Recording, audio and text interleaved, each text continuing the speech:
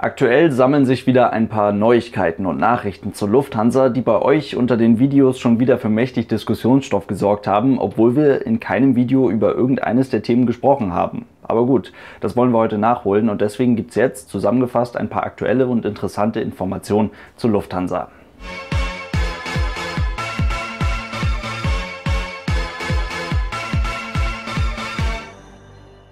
Und damit hallo und ganz herzlich willkommen zu einem neuen Video. Ich hoffe, es geht euch gut und eine Sache, über die ich unbedingt noch mit euch reden wollte, eine Sache, die ich unbedingt erwähnen wollte, ist, da bin ich letztens drauf gekommen, als wir über das Lauda Motion Thema gesprochen haben und im Zuge dessen darüber geredet haben, dass die Fluggesellschaft schon bald ihre neuen Airbus Jets zurück an die Lufthansa geben wird. Lufthansa hat quasi ihren Grundfarbton, das Weiß, was ja auch der Grundfarbton für alle Lufthansa Group Fluggesellschaften ist, der wurde jetzt innerhalb der Gruppe vereinheitlicht und angepasst. Ja, und warum macht man das und was hat das jetzt mit der Lauda Motion zu tun? Ganz einfach, es gibt da ja diesen einen Airbus A321, den die Lufthansa die ganze Zeit so ein bisschen in der Hinterhand hatte. War ja eigentlich ein Flugzeug, was auch kurz oder lang auch bald schon in der Lauda Motion Bemalung unterwegs sein sollte, aus dem aber nichts wurde und jetzt ist die Sache ja klar, jetzt wird das Flugzeug auch nicht mehr zu Lauda Motion kommen, sondern es gehört halt eben zu den Airbus Jets, die sowieso wieder zurückgegeben werden. Er ist schon bei der Lufthansa, also bleibt er auch dort. Und damit kann die Lufthansa jetzt natürlich auch entscheiden, wie sie das Flugzeug lackieren werden und wo sie es einsetzen werden. Soweit ich weiß, ist dieser A321, um den es hier geht, also der A321 mit der Registrierung Oscar Echo Lima Echo Sierra, auch tatsächlich einer der wenigen A321 aus dem Bestand der Niki, die wirklich die richtige Niki-Bemalung drauf haben. Also dieser Flieger trug eigentlich bis zuletzt diese graue Niki-Lackierung und keine Air Berlin-Farben. Der wäre damit ja quasi schon fast ein cooles Museumsstück gewesen, aber dummerweise kann man mit einem A321 noch ein bisschen zu viel Geld verdienen. Deswegen kommt er natürlich so schnell wie möglich in die Lufthansa Group. Er wird da so schnell wie möglich bei der entsprechenden Fluggesellschaft, für die man sich da noch entscheiden muss, scheinbar, da wird er dann eingeflottet, weil der Bedarf, der besteht auf jeden Fall. Und dementsprechend muss der neue Airbus ja dann noch lackiert werden. Ihr erinnert euch bestimmt noch, wie diese Situation jetzt an dieser Stelle überhaupt so zustande kommen konnte. Lauda Motion betreibt zum aktuellen Zeitpunkt neun Flugzeuge aus der A320 Familie. Das sind alles Jets aus dem ehemaligen Niki-Bestand. Als die Fluggesellschaft vor gut einem Jahr nicht mehr abheben konnte, wollte jedoch ja eigentlich die Lufthansa Group diese Air Berlin Tochter übernehmen und erwarb dafür gleich mal die entsprechenden Flugzeuge, also unter anderem diese 10 Airbusse von Niki. Sie gehören also der Lufthansa. Die größte deutsche Fluggesellschaft war dann allerdings dazu verpflichtet, die entsprechenden Flugzeuge demjenigen zur Verfügung zu stellen, der dann wirklich den Zuspruch für die Überreste von Niki bekommt. Und das war in diesem Fall Niki Lauda mit seiner Lauda Motion. Über den dann im Hintergrund geführten und scheinbar sehr interessant verlaufenden Streit müssen wir uns jetzt an dieser Stelle nicht mehr unterhalten, aber für uns ist jetzt hier wichtig zu wissen, dass sich die beiden Fluggesellschaften außergerichtlich geeinigt haben. Darauf, dass Lauda Motion diese entsprechenden neuen Airbusse in den nächsten Monaten bereits wieder an die Lufthansa Group zurückgeben wird. Das bedeutet, die Lufthansa Group, finde ich immer ganz wichtig dazu zu sagen, bekommt alle Flugzeuge zurück, auf denen aktuell überhaupt der Name Laudamotion draufsteht. Und die Lufthansa wird diese Maschinen dann da einsetzen, wo es ihnen gerade am besten passt. Und damit ist dieser zehnte Airbus, der A321, über den wir ganz am Anfang gesprochen haben, der ist damit jetzt quasi schon der Vorbote für das, was dann auch mit den anderen neuen Jets in den nächsten Monaten passieren wird. Laut Aussagen eines Lufthansa-Sprechers wurde dieser Flieger, Oscar Echo Lima Echo Sierra, jetzt erstmal im neuen Einheitsweiß der Lufthansa Group lackiert, weil es zumindest für uns aktuell noch nicht klar ist, wo die Lufthansa diese Maschine dann letztendlich einsetzen wird. Das ist dahingehend besonders spannend, weil dieser A321 dann ja auch tatsächlich der erste seines Typs bei der Eurowings sein könnte, wenn die Lufthansa Group sich dazu entscheidet, das Flugzeug dort einzusetzen, weil so wie man das aktuell ja immer wieder hört, besteht da auf jeden Fall Bedarf.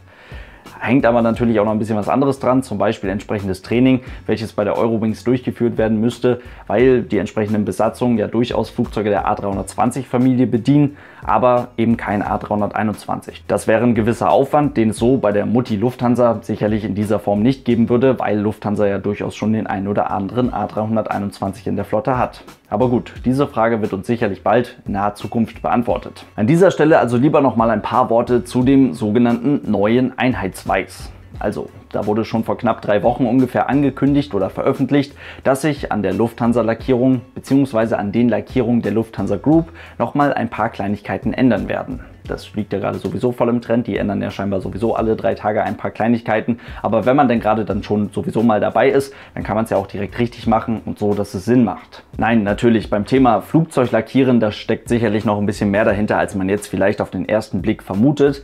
Aber wenn wir mal ein ganz simples Beispiel nehmen. Wir schauen uns einfach die alte Lufthansa-Lackierung an, auf einem A320. Das ist da besonders einfach, weil dieses Flugzeug in so gut wie jeder Lufthansa Group Airline vertreten ist.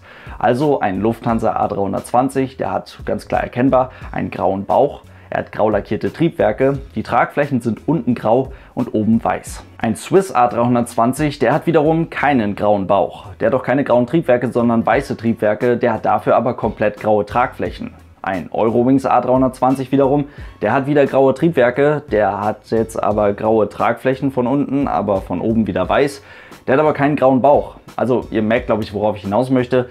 Die Flugzeuge gehören zwar alle zu einem Konzern, sind alle vom gleichen Typ, aber sie sehen komplett unterschiedlich aus. Auf der einen Seite natürlich ganz klar, die Flugzeuge müssen auch unterschiedlich aussehen, weil sie zu unterschiedlichen Fluggesellschaften gehören. Hier alles weiß zu lackieren wäre vielleicht ein bisschen einfacher, würde vieles vereinfachen, aber ist sicherlich nicht der Weg zum Ziel. Aber die Basis, die natürlich unter jeder Lackierung steckt, die lässt sich vereinheitlichen und das bringt auch schon entsprechende Vorteile mit sich. Das Ganze nur mal am Beispiel der neuen Lufthansa-Lackierung. Das Ding hat weiße Triebwerke, einen weißen Bauch, auch. Die Tragflächen sind oben weiß und unten sind sie nun auch weiß.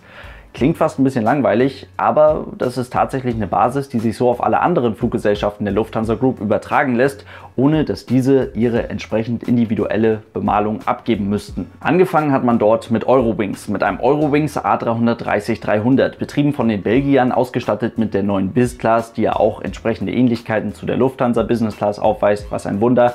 Das Flugzeug wird bald ab Düsseldorf auf der Langstrecke eingesetzt. Und da hat man jetzt die eben angesprochenen Dinge so verändert, dass sie zur Lufthansa-Lackierung, zu der Lufthansa-Basislackierung passen.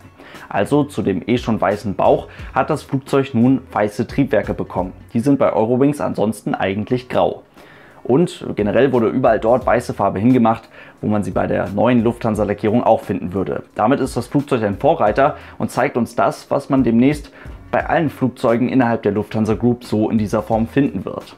Und zeigt uns natürlich auch die Lackierung, die final so auf allen Eurowings-Flugzeugen zu sehen sein wird in der Zukunft. Dabei geht es hier nicht nur darum, dass entsprechende Teile nun auch wirklich in den entsprechend anderen Farben lackiert werden, also es geht nicht nur um einen Farbwechsel, sondern es geht vor allem auch darum, dass der Weißton an sich unter den Fluggesellschaften vereinheitlicht wird. Denn das Swiss Weiß war vorher nicht das gleiche Weiß wie das Weiß, was die Lufthansa benutzt.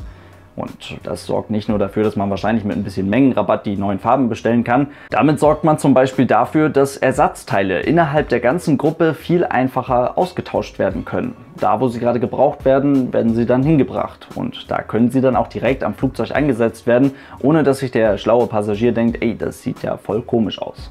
Und das macht schon mal durchaus Sinn. Und dann sorgt das natürlich auch dafür, dass man ganze Flugzeuge viel entspannter innerhalb der Gruppe hin und her schieben kann. So zum Beispiel auch mit dem Niki A321, den man nun erst einmal im Basis-Einheitsweiß lackiert hat. Und so hat man sich quasi schon mal die größte Arbeit rausgenommen, die größte Arbeit schon mal gemacht und muss nur noch die individuellen Kleinigkeiten der entsprechenden Fluggesellschaft hinzufügen, bei der das Flugzeug dann in Zukunft fliegen wird. Im Zuge dessen wird man dann nicht nur die entsprechenden Weißtöne vereinheitlichen, sondern auch, angefangen mit den Flugzeugen der A320-Familie, die Konfiguration und die Ausstattung innerhalb der Gruppe vereinheitlichen. Das bedeutet, dass man die Flugzeuge viel einfacher dort einsetzen kann, wo sie gerade wirklich gebraucht werden. Dann entsprechend auch bei anderen Fluggesellschaften innerhalb der Gruppe.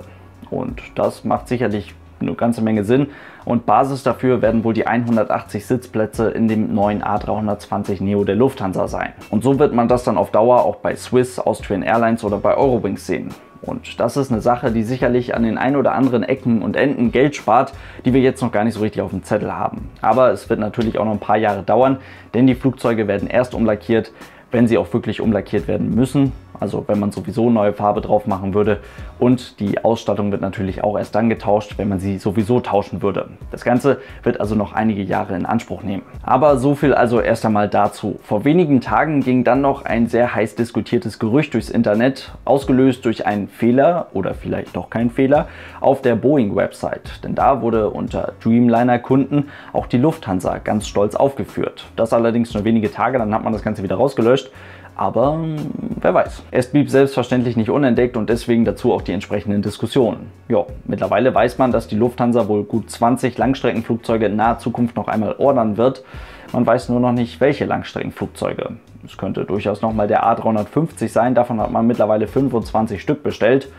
777X ist da eher unwahrscheinlich, denn bereits Mitte letzten Jahres wurde da so ein bisschen drüber diskutiert, ob man nicht vielleicht sowieso schon zu viele bestellt hätte und sie vielleicht mit gewissen Abständen übernehmen möchte, weil man sie sonst gar nicht richtig in der Fluggesellschaft unterkriegt, wie auch immer. Oder aber man kauft jetzt auf einmal als Lufthansa Group Boeing 787, den Dreamliner. Der ist sicherlich durchaus ziemlich gut zu gebrauchen, vor allem in unterschiedlichen Längen. Aber wieso sollte man sowieso unterschiedliche Flugzeuge von unterschiedlichen Flugzeugherstellern kaufen? Die sich dann in der gleichen Kategorie befinden. Das hat einige ganz einfache Gründe. Lufthansa zum Beispiel ist eine große Fluggesellschaft, die extrem viele unterschiedliche Destinationen anfliegt und somit auch extrem viele unterschiedliche Flugzeugtypen richtig gut gebrauchen kann. Lufthansa kann die Flugzeuge wirklich dort einsetzen, wo sie ihre entsprechenden Stärken bezüglich Effizienz, Platzangebot oder Reichweite dann auch wirklich richtig gut ausspielen können.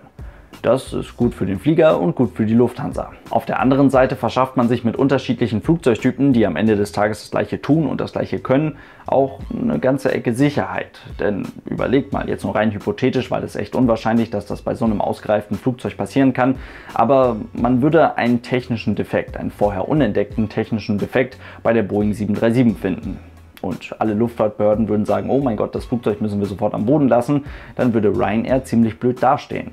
Eine Fluggesellschaft, die aber dann auch ein Konkurrenzmodell, ein A320 dazu hat, die kann dann wenigstens vielleicht die Hälfte ihrer Flotte losschicken. Das Argument ist jetzt aber vielleicht nicht unbedingt das stärkste, zumindest nicht, wenn es um die Boeing 787 geht, weil zumindest so laut den aktuellen Nachrichten sollte man dann ja eher ein bisschen Abstand von der 787 nehmen. Aber gut, das wichtigste Argument ist auf jeden Fall, wie wenn nicht so, möchte man als Fluggesellschaft bei den Flugzeugherstellern die besten Rabatte erzielen.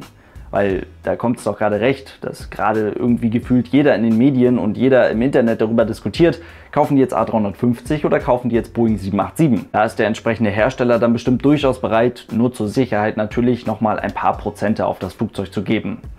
Ja, und wenn es beide Hersteller machen, dann ist es natürlich nur super für die Fluggesellschaft. Aber gut, Vielleicht ist es natürlich auch Ersatz für die Austrian Airlines Boeing 767. So eine 787 Kombi wäre daher vielleicht gar nicht schlecht. Glaube ich, ist aber eher unwahrscheinlich. Für die Lufthansa kann es am Ende des Tages aber nur von Vorteil sein, wenn wir jetzt darüber diskutieren, wenn andere sich fragen, was die für ein Flugzeug kaufen, wie auch immer. Für die Lufthansa ist es natürlich am allerbesten, wenn nur sie bis zum letzten Moment wissen, welches Flugzeug sie dann wirklich bevorzugen und lieber kaufen würden.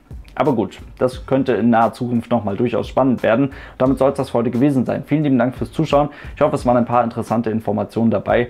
Ich freue mich sehr auf eure Kommentare zu dem Thema. Bin gespannt, was ihr zu Boeing 787 bei der Lufthansa sagt. Ob ihr euch das vorstellen könnt, dass das Flugzeug in der Flotte der Lufthansa Passage, also mit einer wirklichen Lufthansa-Lackierung drauf, irgendwie eine Zukunft hätte. Wäre ja durchaus interessant, vor allem neben der 777X. Aber gut, das wissen wir zum aktuellen Zeitpunkt noch nicht. Und dann sehen wir uns hoffentlich morgen bei einem neuen Video wieder. Bis dahin, lasst es euch gut gehen. Schaut gerne mal auf aeronewsgermany.de vorbei und dann bis morgen und tschüss.